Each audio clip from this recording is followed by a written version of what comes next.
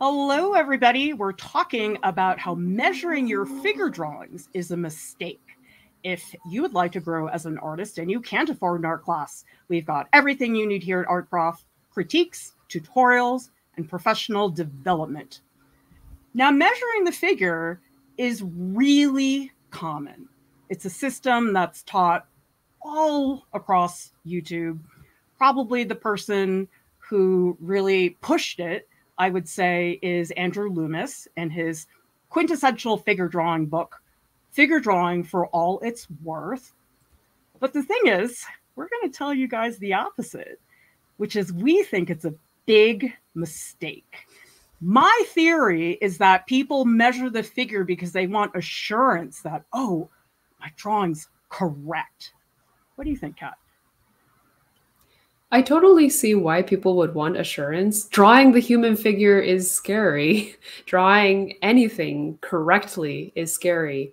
But when we seek the correct answer, we're lim- limiting ourselves to only one answer. And the answer is that humans don't come in one shape and form. Human comes in humans come in a variety of shapes and sizes and measuring everyone is just not possible. That's the easy way out. It is a cop out, in fact.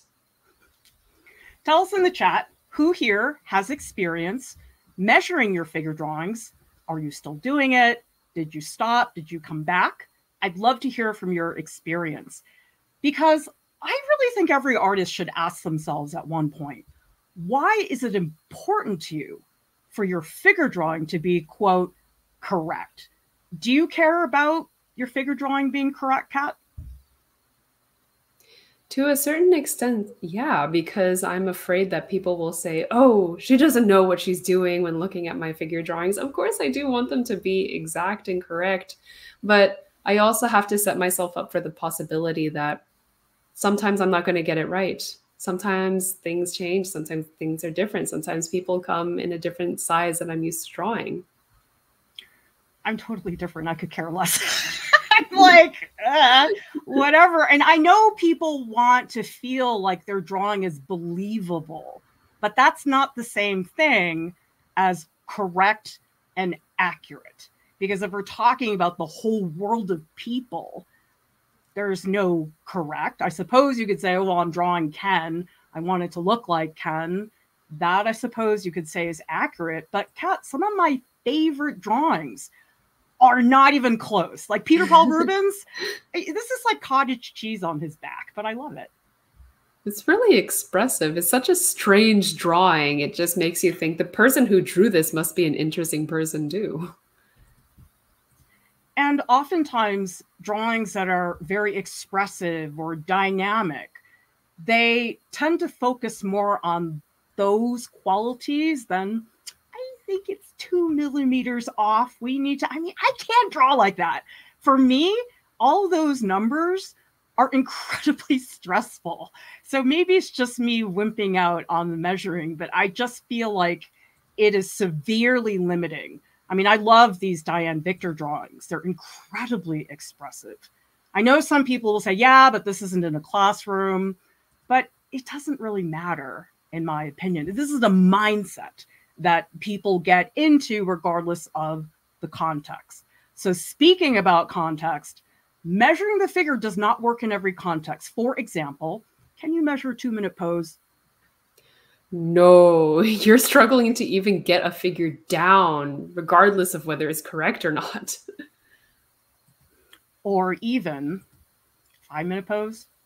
A five minute pose you'd be surprised how fast that time passes. I mean everybody has to do the art prof timed figure drawings and creature drawings because you'll learn pretty quick that you have to train your eye in order to draw these things. It's impossible to measure. Or another context that doesn't work if you're drawing a group of figures. This is something i did on a live stream. Figures are overlapping. They're all different poses and Cat, what was this drawing you did? This was a drawing I did in your class, Clara, when you taught me when I was a sophomore. and basically, the prompt was claustrophobia. My take on it was just multiplying the human body by many times into the head, uh, the claustrophobic mindset of this person. And I had to be able to draw and overlap different kinds of bodies and different kinds of sizes of bodies. As you can see, the bodies in the head are not the same size as a body outside. So how was I supposed to measure that accurately? And do I really care about measurements? when I look at this, I'm just thinking, oh man, I'm so glad that's not me. That looks horrible. Actually, during that critique, Clara, you weren't even focused on the figures at all. You were focused on the fact that it didn't seem claustrophobic enough. I remember this critique. you see, just distract your audience, get them to think about something else other than the measuring. Again, if you have two figures that are interacting, you've got limbs overlapping, any measurement, it just goes right out the window. Hmm. Now, we do have some comments here. Seven Angelic says there is a usefulness to measuring the exact face you're drawing in terms of how big is their nose in relation to their eyes. Do you usually measure portraits, Cat? I never do. I don't measure them, but I do compare and contrast. I usually have one landmark in the face that I focus in on, like maybe uh, the jaw or maybe the temple, something that will not move, such as the bony landmarks in the face, and then compare and contrast everything based on that. But that's actually training your eye. You're looking at one thing and comparing it to another thing, and you're looking at the differences and the distance between these things. Well, when I was in graduate school, we were doing portrait sculptures. They would give us calipers, and we had to measure everything on the face with our sculpture to make sure it was. I'm like, dude, let's just do a 3D scan. It would be so much faster than all of this ridiculousness. Because here's the thing training your eye, it works all the time, no matter mm-hmm. what you're trying. To blanket magical skill. You can always use it. But why can't do people want to go for the measurements over training your eye? Maybe that's a very utilitarian approach. I don't know. When I think about measuring things and having one answer, one correct answer for every question you're going to get, it almost reminds me of the American education system. Which honestly, it that's not helpful in real life to be tested on something and say there's only one right answer that's possible. That's just not realistic. What is realistic is to be able to ex- to prepare for different scenarios. And that is what training your eye does for different contexts of drawing. Also, if you're life drawing a jet lagged Lauren in China, I am not thinking about measuring. You know why? At a certain point, your subject wakes up and you're like, shoot, I can't work on mm-hmm. it anymore. And so I just am like drawing furiously because she's jet lagged and she did wake up eventually. But I would not want to measure in that situation because measuring's time consuming.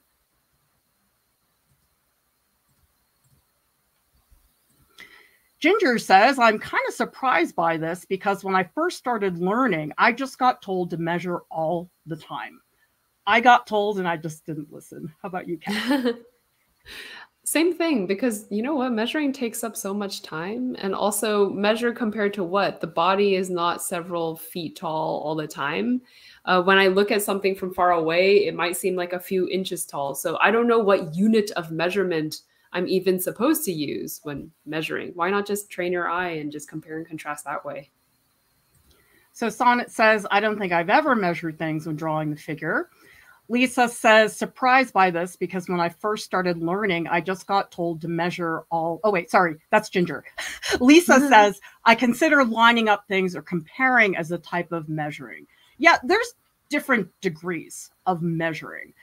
Certainly, there's the calipers, and then there's literal inches and proportions, do the math. And I feel like I measure with my eye, like Cat. I, I make the comparisons, but there's no numbers involved. So I'd like to know who here has had to do numbers or however. Kathy says, I've never actually measured anything, but do compare sometimes, especially to diagnose when something that doesn't look quite right. Yeah. Mm-hmm. And so, why is training your eyes so much faster, Cat? Because again, it works in all contexts. And I think when you train your eye, you're able to sum up generalities first and then eventually go into details. I think when you measure, you get too detailed too fast. You're worried about exact proportions of little things when really you should look at the figure in context. I mean, you can literally see the figure in context. So why not draw that down? I don't know about anyone else. This hurts my head. I can't even look at this. Not even to mention that why are all the nude women in all these drawing books? Why do they all have high heels? Why? How is this necessary? I need some explanation on this. By the way, all the men wrote these books. um, male gaze. Male gaze. Yep. I, I mean, do people find this comforting, Cat? Maybe somebody with a different kind of brain than me. I feel like drawing might be such a weird idea to some people where they say, okay, well, I don't understand drawing, but I do understand numbers. So I'm going to go off of that. That might be some people's coping skill to maybe start drawing. But once you start to actually understand drawing, you realize there is no simple answer to it. You have to be able to look and recognize and honor the differences from person to person. And your eye, it works when you're drawing landscapes. It works when you're painting a still life. That is a skill that transfers between images that's going to serve you extremely well. Because here's the thing if you're measuring, let's talk numbers, okay? You say, oh, the arm, they taught me this in grad school, is one and three quarters of a head long. And we had to do math for real with calipers and also with dividers. But the thing is, if I'm thinking one and three quarters, am I really looking? No, you're making an assumption. So this is what I do. If I'm drawing the figure, I'll say, okay, how wide is the head compared to the breast? I don't say, oh, the breast, it has to be 1.253 heads wide. And so what I'm doing, as you can see in these bars, I say, oh, when I look at those two together, the head is much wider than the hmm. breast. Mm. And how long does it take to do that? Just like that. or I, I oftentimes compare height. Which shoulder mm. is higher than the other? And it's so often I'll go to a student and I'll ask them that question. And they say, oh, it's the one on the left. And I say, well, look at yours. They're lined up. And so I think this is much more practical than all those numbers and fractions. Mm-hmm. Louisa says, I'm a dressmaker, and that trained my eye without realizing. My drawn figures have gotten so much better in proportions, I think, because I'm constantly eyeballing body measurements down to inches. Oh, that's fantastic. Don't you love that? Wow, Louisa has a really keen eye then. That's excellent. So, this is probably one of the most common proportion systems that I see people using out there. And again, thank you, Loomis, for giving us a picture of what the ideal proportions are for male. Uh huh, yeah. so, let's do some measuring. Will eight heads tall work for Michael Jordan? Why do you think I picked Michael Jordan as opposed to average person? Michael Jordan, isn't he insanely tall? He's a basketball player. You think about all the different ways people live depending on their profession or their circumstance, and people's bodies are so different from each other. So if we look mm. at Michael Jordan, okay, there we go, we've got a head. Let's see how many heads Michael Jordan is. Seven and a half heads tall. I was surprised. I thought he was going to be like 10. 10 heads. so he's seven heads. Hmm. And what about Michelangelo? Now, some people might say, oh, but this is a drawing and it's it's a drawing for a mural. It's not a life drawing class. Does this still count for us to look at this? Sure, why not? It's one of the greats. mm-hmm. All right, so one head is that big, And we have all the heads.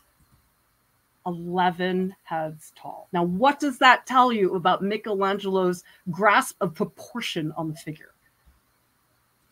That he's eyeballing it, probably. I think that another thing that's worth mentioning here, though, is that head is definitely foreshortened. It's not yep. looking straight at the viewer, it's looking up, and therefore the head seems smaller because it is foreshortened. And so it is not fair to measure this figure based on the head that we do see. So why even measure with heads in the first place? Well, the other thing too is if you think about a figure drawing, okay, there are many components. The marks you make, the gesture, the movement, your value range. All those things are a big package that creates our drawing. And if you put measuring at the very top, guess what falls away? if measuring is the number one priority, do you think you're going to lose in terms of gesture or value? Of course. And I think that you would lose a lot of expression in your drawing as well. Thank you so much, Jay King, who says can't stay, just wanted to pop in and show some support. Well, thank you so much, Jay King. so great to have that. And we have also, Louisa saying Simone Biles, who is four eight, is also seven heads proportion. And Seven Angelic says relation proportion is good, but getting out rulers and exact numbers feels like something for an architect or engineering, not a portrait. I mean, what we do is not an exact science. that might actually be really frustrating for people. Some people really want exact measurements, but I think that being in the arts, you also have to make yourself available for opportunity and potential in other ways, other ways than just measuring with numbers. So let's see if it works on Aaron Tveit. if he is eight heads tall. You know, I just need to know. It's just okay. people need more examples, you know? Okay, so let's see. There's his head, and this one's also foreshortened on the head. So doesn't that create problems? Yeah. So uh, what but- I did I just made it, you know, it's a little bit too long, but whatever. Let's just try it. Let's see if he's eight heads tall. Seven and a half heads tall. Hmm. Tall man. I won't elaborate. okay, now this is to me the most compelling reason to not measure. It, just, it does not account for a range of body types. I mean, if you look at Loomis, it's so out of date. It's like, oh, white women that are skinny. I guess that's all the women in the world. But it's like mm. you can't even conceive of how many body types exist in the world. I agree. I also think that a lot of people, when they are drawing, tend to draw what they see in media. And very often we see very similar body types portrayed in media because that is what is desired. But if people look beyond media and the world around them, at themselves, at just everybody in context, you would realize that there are so many varieties of body types out there. The other thing, too, is when I've seen people measure, they're doing it for every drawing. Okay, so regardless mm. of who the model is, is the exact same measuring system. So if you're using eight heads, whether you're drawing Ken or Linda, the two RISD models I've worked with, you're still going to do eight heads and you're going to try to get Ken's body to fit into the eight heads, which you know something makes everybody generic. I mean, I can't imagine that you get anybody's unique qualities if it's the exact same proportion system. That almost feels like a cookie cutter version of like how to measure out a body. And again, that's impossible. And isn't it a problem for foreshortening just a little bit?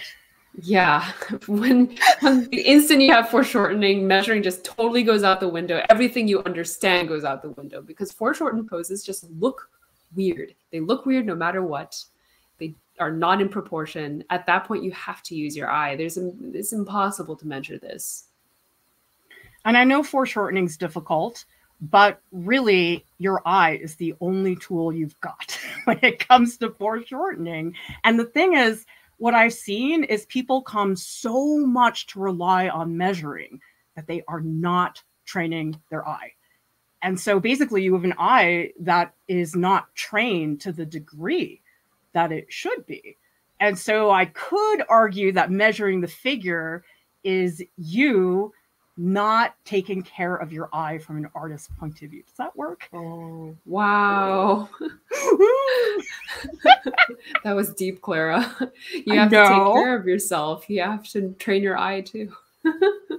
well, I mean, I don't think anyone can argue that your eye is a critical part of being an artist for the most part. I mean, not Absolutely. necessarily for, I don't know, every context, but it's pretty important. And I think no matter what you're doing, you're an installation artist, you're an architect, whatever field, you are looking at things.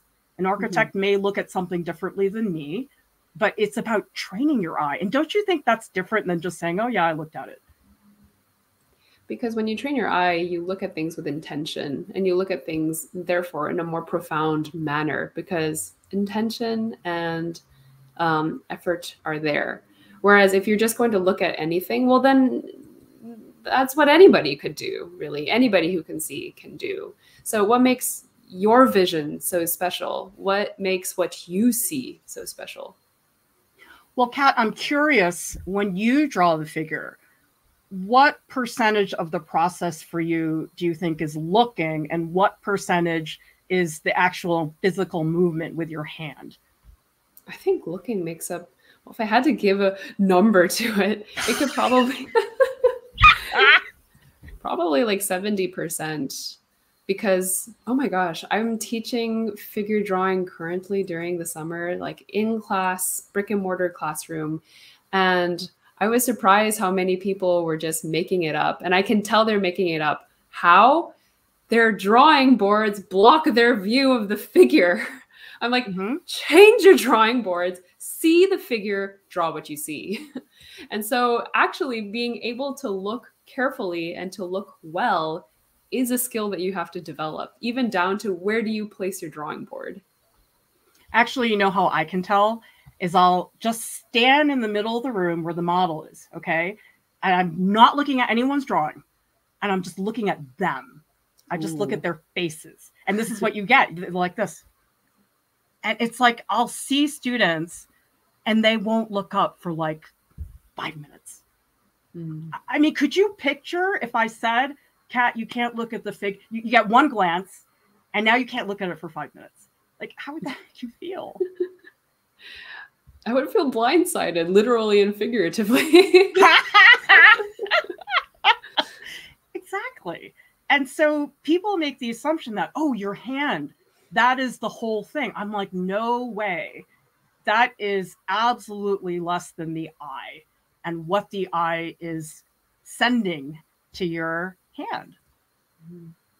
Janice says, you know, it may be a way of making art fit along other academic subjects, taking notes, things to study.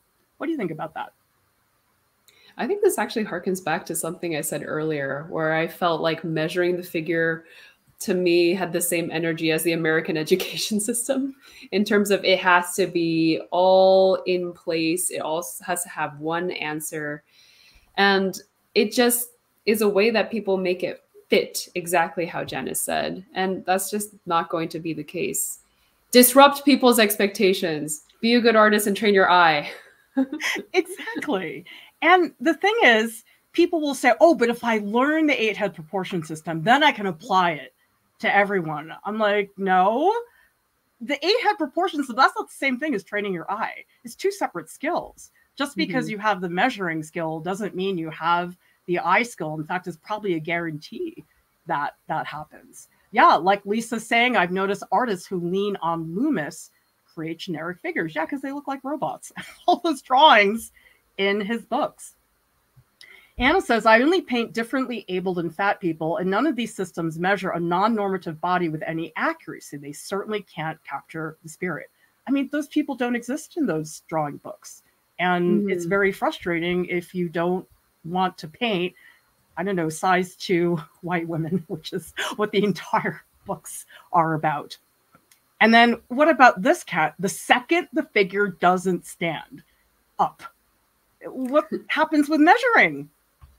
again, it goes out the window. It's totally useless in this case because not only do you have a figure that is bent probably all sorts of ways, but body parts layer. Body parts come out at you and body parts go away from you. Things are foreshortened, things are in movement. How are you supposed to measure all of those moving limbs?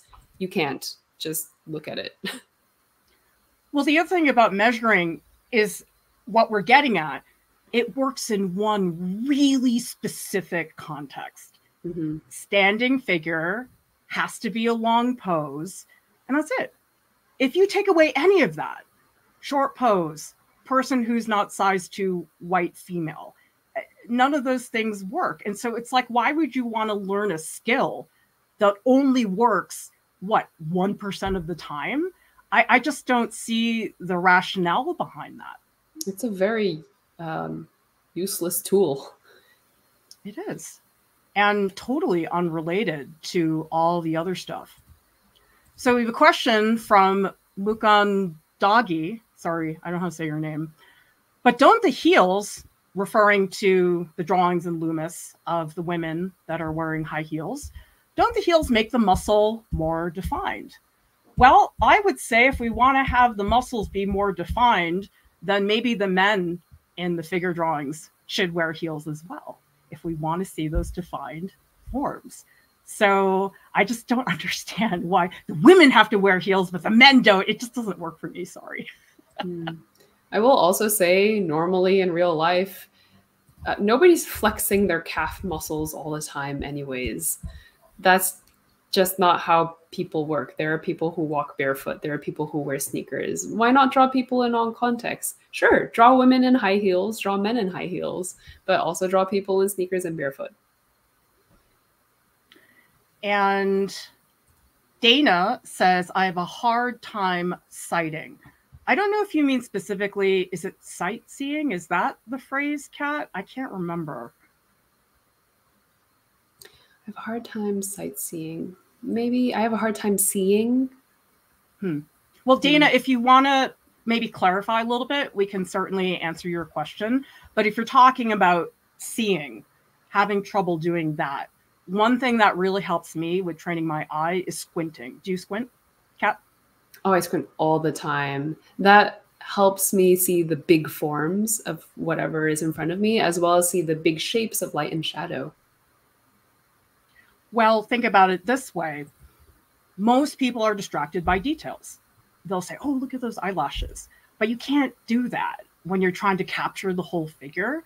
And so if you squint, you won't see eyelashes. You're going to see the big shapes, which oddly enough are hard to see if mm-hmm. you're looking at everything in focus because we do get distracted by that stuff. So if you guys watch our videos, I'm always like, and like making some like super grouchy face. It, it's a skill. You have to train yourself because, Cat, I don't think that's something you learn overnight.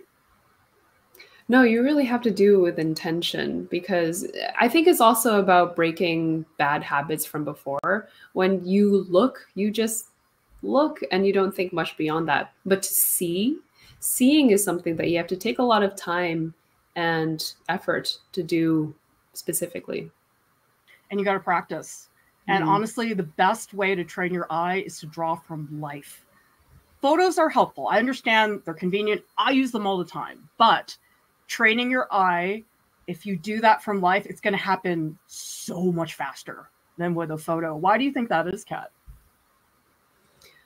Because I think you're forced to come to terms with the fact that things are moving. You have to get things down fast, and therefore you get the good process of drawing the general forms first and then eventually going into something more detailed.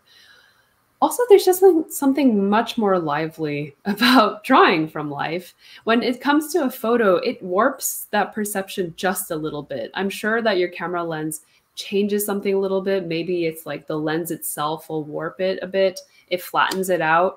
It, uh, what was it? It whitewashes like the light it becomes like super dark and contrasted and you can't see the nuances of how color and light and shadow travel across surfaces and so when you are drawing from life your eye is the perceiving thing whereas if you're drawing from a photo it's really the camera lens that is perceiving that subject tell us in the chat who here draws from life. Maybe you draw from life in a specific context. For me, it's usually plein air because I feel ridiculous taking a photo of a landscape and then going home and painting it. And for other people, it's life drawing sometimes. But I'd like to know because actually, I think Google Images has caused many people to just skip over drawing from life because mm-hmm. the photographs are just so easy to get.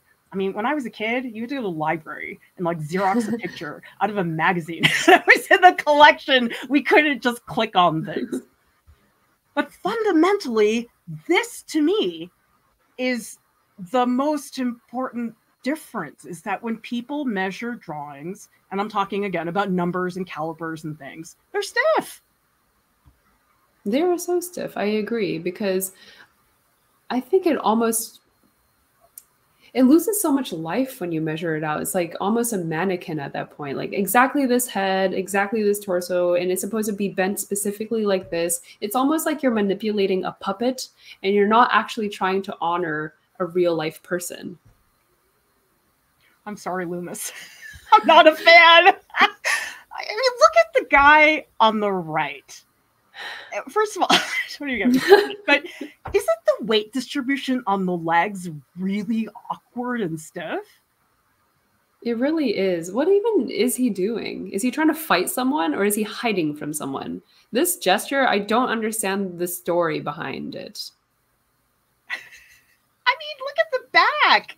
I mean, doesn't he look like he's like doing this? Like punch I don't know. Like it's just really strange looking. And even the figure on the left, which doesn't have the weird weight distribution, I, I mean, his neck is so like uncomfortably, weirdly straight. Like these drawings don't feel naturalistic to me. Do they to you? They feel like somebody was posing there for a photo. It doesn't feel like a real person living life. It feels too curated. Because I think ultimately, even if we are drawing a life model and a drawing context where somebody is posing, you can still do a lot with it. I really try to see the model as individual. So I'm drawing Ken. It's not, oh, I'm drawing a man. I'm drawing Ken. What is specific about Ken that is mm-hmm. not the same from all the other male models that I know? And that can happen with a model you've never worked with before new model comes in, I can still say, well, what is it about him that makes him distinctive? Because Cat, I think people forget that in the life drawing situation. That is sad to think about. Yes. I think a lot of people, when they're figure drawing, are thinking, okay, I need to draw the body as accurately as possible. But they forget that the figure model is a person with a name and a story with specificities about them. And I think it's really important that whenever you do do figure modeling, uh, sorry, draw from figure models. Who knows? Maybe it could be a figure model too. I think that's the fastest way to understand what a figure model would feel like. but um, when you are drawing from a figure model, recognize what makes them an individual, recognize what makes them special, and honor that in your drawing. So why do you think these drawings aren't stiff? These are by Jenny Saville. They touch each other. They touch each other quite naturally as well. And they layer on top of each other. They're almost like this big pile of flesh, one on top of the other. I don't think that you can draw that. I really think that you have to either observe. I'm, I'm sorry, I don't think you can measure that. In order to draw that, you would need to observe it. And I think you would also need to feel for it too. Like, how are the relationships between these people? How would they react to each other naturally? I will say a lot of the times because I went to this local drawing group um, a couple weeks back, and there was one person I talked to, and he asked me for help, and I said, "Well, what's really your priority here? What are the thing you're really trying to focus on?" He said, "I want to be correct." And I was like, "There's other things. Like, like is that really the only thing?" And then people will say, "Oh, but." You're practicing. I'm not a contemporary artist showing in a gallery like Jenny Saville. Therefore, it's different. I'm like, so what? You're going to wait until you're a gallery artist to be expressive? You're going to mm. wait that long? I, I just don't think this whole draw it correct and then I'll be expressive. It just doesn't work that way. again, I think that people want to boil it down to say, oh, step one, be correct. Step two, express myself. It's almost the same mindset around measuring in the first place. There's no simple answer to this. You really have to find a way to try multiple things at once and try uh, finding the thing that works the best for you. I read an article in the New York Times today. Guess what? It was about how social media algorithms do not encourage curiosity or people to discover things for themselves. And this is the same thing. It's like, do you really want a template that somebody hands to you that says, yep, we're all eight heads tall? Or would you like to just go out there and see, oh, yeah, many more people exist than eight heads tall, like Aaron Tveit and Michael Jordan. So these are all things we need to think about. So with measuring, it's a skill, but I just feel like it's such a waste of time. And it's such a tangent to the skills that really matter. Guess what, everybody? We're having a Discord stage session. Please meet us in the post live streams stage channel right after the stream you can sponsor a video. You know something? The video we had on Sunday, the Reed and Wire sculpture stream, this happened because of a generous sponsor in our community. And we are so grateful for that support. So when you sponsor a video, you're not just getting it made because maybe you want to see it, but the whole community benefits. So it's a wonderful way to give back to our global community. The information is in the YouTube video description below visit artprof.org. There's so much content on there that is not on YouTube. Use the search bar. Join our Patreon group. We've got weekly voice sessions with staff, critiques from me that are like little research papers, and you get support in a small group of artists. There is also no three to one critique rule that we have in the public channels. So share your art with us, get the critiques, and this is the best small group so you don't get lost in the shuffle. ArtProf has services. We have artist calls, personal art curriculum, statement editing, portfolio critiques. Thank you to our wonderful top Patreon supporters who keep the lights on, make it possible for us to stay up and running. Art Prof has a podcast. It's available on Spotify and also on iTunes. And subscribe to our channel for more tutorials, critiques, and business tips. Everybody, thank you so much for watching. We'll see you next time. Bye.